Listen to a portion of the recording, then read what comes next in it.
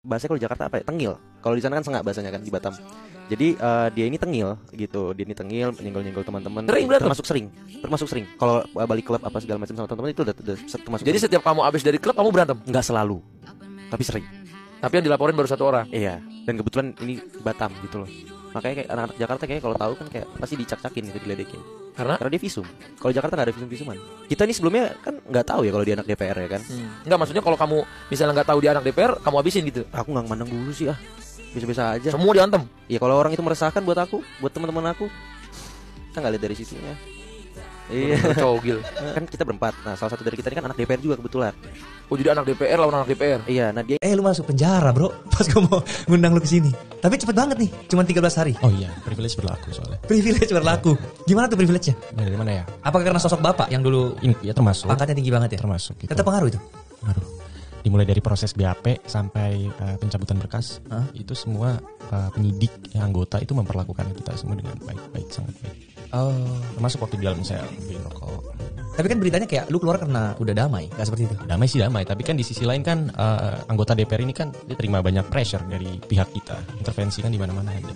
Jadi secara nggak langsung ya dia diteror dong. Tapi lu beneran masuk penjara itu maksudnya Lu masuk ke selnya atau lu hanya di sofa tidur nih bro? Masuk sel. Tapi selnya ini kalau orang-orang pada umumnya itu kan mereka di, di dipecahin gitu kan masuk sel ini bareng-bareng orang itu. Kalau gue nggak. Jadi gue di, dikasih kamar yang benar-benar kosong ya cuma harus dirapiin lah dibersihin kan. Terus jadi kita isi berempat karena kita sepaket nih berempat bangun udah titipan dari pimpinannya buat nggak dipisah atau digabung sama yang kakap-kakap itu kan ada Hmm. yang kakap kasus-kasus gede enggak kita nggak makan makanan penjara. Jadi kita eh, kadang digofoodin sama eh, apa namanya tuh polisi yang jaga piket.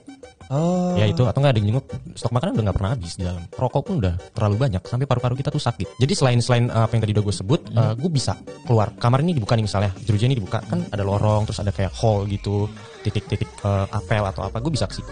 Sangat kecewa sekali dengan perkataan dia. Itu adalah bahwa apa yang dikatakan kita sedikit pun masalah sangkut masalah ini secara kekeluargaan alhamdulillah beliau terbuka hati beliau karena memikirkan masa depan anak-anak kami alhamdulillah beliau mau tanpa satu sen uang. Termasuk dari pihak kepolisian juga. Kami tidak ada pernah mengeluarkan uang satu sen pun. Alhamdulillah pihak kepolisian telah membantu semuanya. Ini betul-betul sangat kecewa, saya sangat kecewa sekali dengan Satria. Apa yang dibuat? Itu saya minta juga Satria itu tolong ralat kembali itu. Saya minta itu seperti itu. Yang jelas saya sangat kecewa dengan perkataan dia yang ada di media itu. Pada dasarnya saya eh, terkait dengan restorasi justice ini karena ada upaya dari keluarga satu Pak eh, Rikurai kalau eh, dengan ibu dengan ibu Dimas dan Rehan itu datang kepada saya. Berapa kali juga datang kepada saya meminta untuk perdamaian. Dan atas dasar itulah karena kita eh, kemanusiaan dan merasa bahwa anak itu punya masa depan maka restorasi atas dasar itu. Jadi tidak ada unsur pemaksaan, penekanan, apalagi ada unsur biaya atau duit ini. Saya sangat kecewa kalau memang ada unsur biaya atau dana ini. Saya ini adalah murni membantu untuk membebaskan mereka menjadi anak yang baik ke depannya.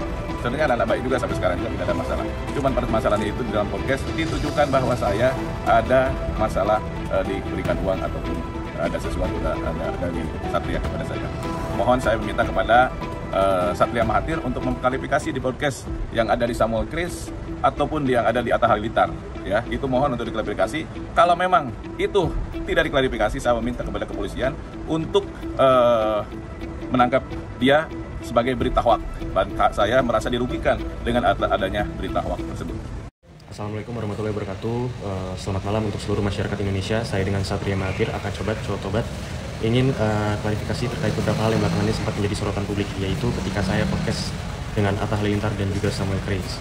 Perlu saya perjelas bahwa saya tidak pernah atau tidak sedang berusaha untuk menjatuhkan institusi maupun eh, pejabat.